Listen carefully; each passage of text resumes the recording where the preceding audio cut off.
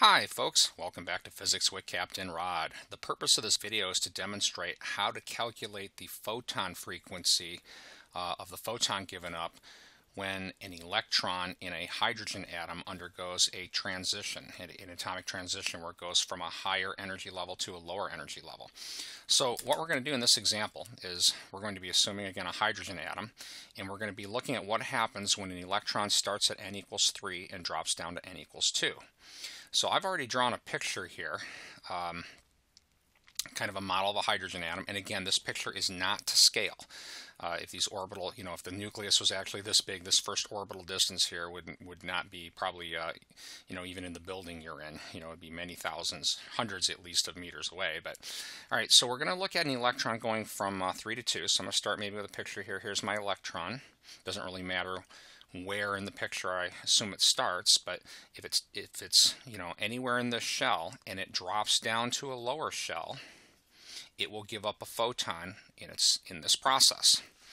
Now, um, we can write a very easy energy balance for this, right? And it's you know this is just basic laws of conservation. Whatever you start with has to equal whatever you give up plus whatever you're left with. So I can I can kind of use that concept to write a little equation here. This photon, or I'm sorry, this electron starts with an energy equal to what I'm going to call E3, which is the energy of an electron in the third shell.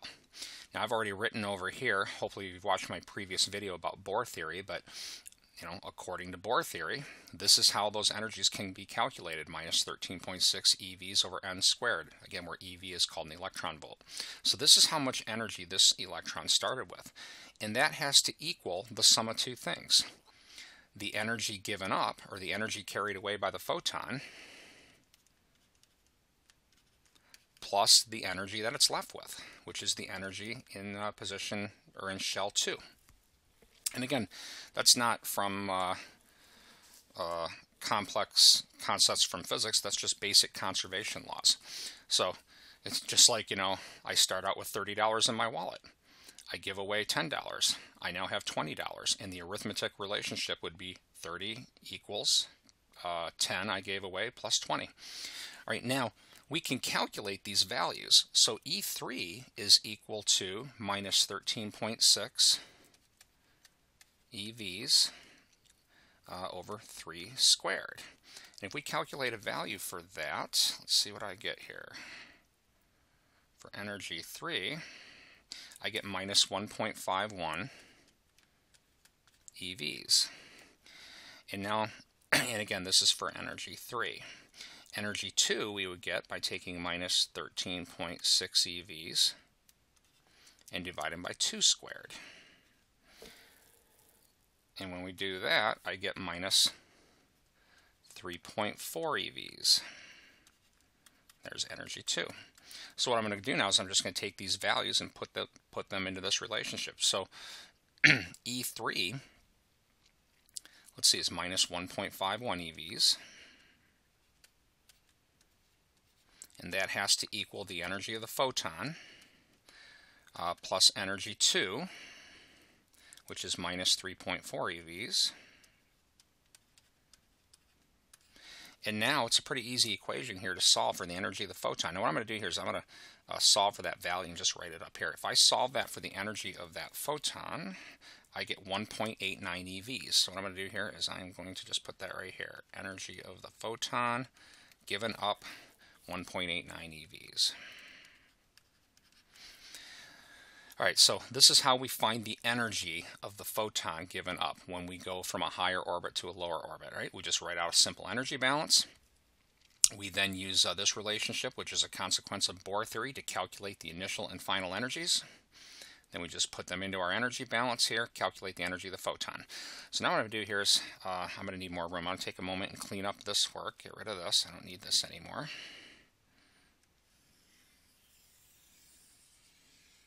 Right, if you're following along here and you want, you're in one of my classes, you want to, may want to pause this and uh, get this all copied down. All right. Now, thinking down the road.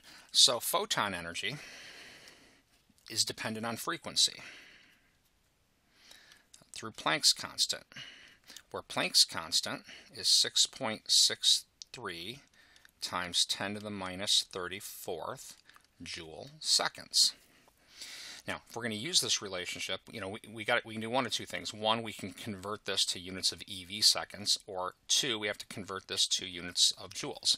So I'm going to go ahead and just convert this to units of joules. This energy, 1.89 EVs, uh, can be written in joules by multiplying by the conversion factor. There's 1.6 times 10 to the minus 19th joules per EV.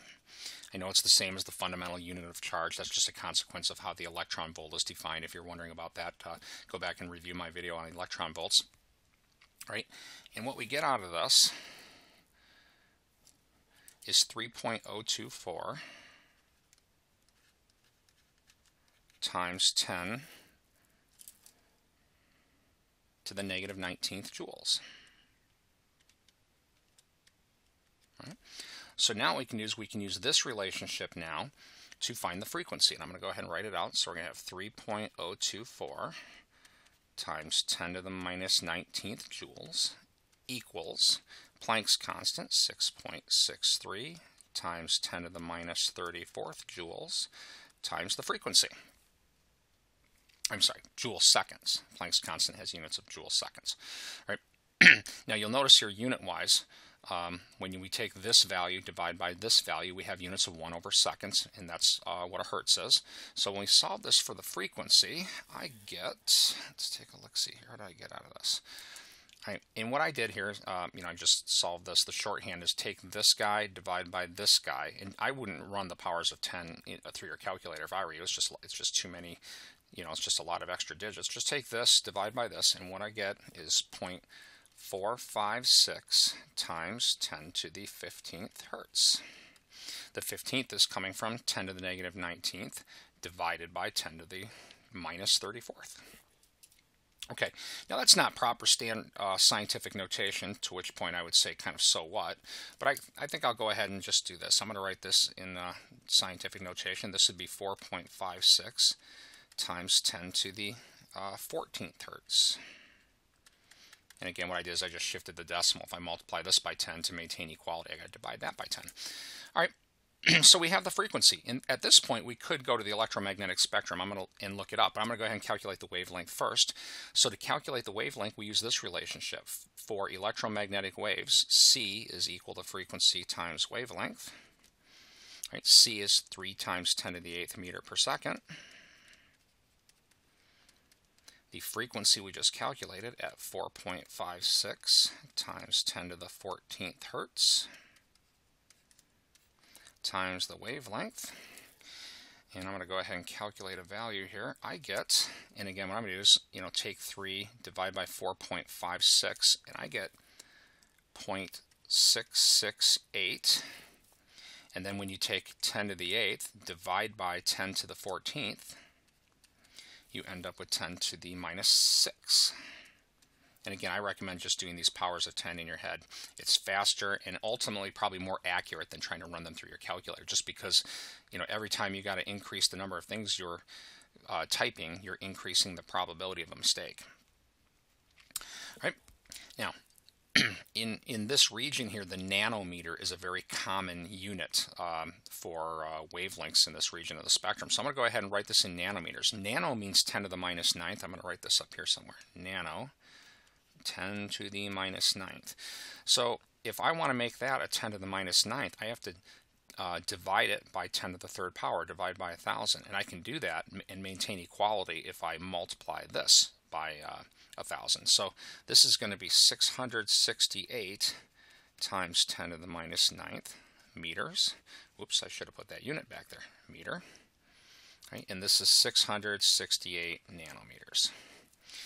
So we have the frequency of the photon given up, we have the wavelength, and I'm going to add here, um, you know, what part of the electromagnetic spectrum is this. So the visible part of the spectrum is right around from about 400 nanometers to about 7 or 750 nanometers. this thing is visible because it's in that region. And if you go look at a uh, any sort of layout of the electromagnetic spectrum and you check this, this is uh, in the basically the red part. So this is uh, not only know the frequency and the wavelength, but I also know that it's visible and it's red. Right? And I'm not going to do this in this video, but I would also occur, uh, encourage you to look up the atomic spectra or the emission spectra for hydrogen. And what you'll, if you look there, you'll see this guy sitting there. Uh, look, you know, just to the left of 600, look between uh, 600 and 700 nanometers, and you should see a red band, a single red band just sitting there kind of all by itself. So anyway, the point of this video is how to calculate the photon frequency and wavelengths and, and to classify it uh, when an electron drops down in orbit or drops down to a lower energy level. Now, I want to throw in here, you know, a couple side things to point out. Had this electron dropped from 3 to 1, that's a much larger energy drop. It's kind of important to understand, well, what would have happened?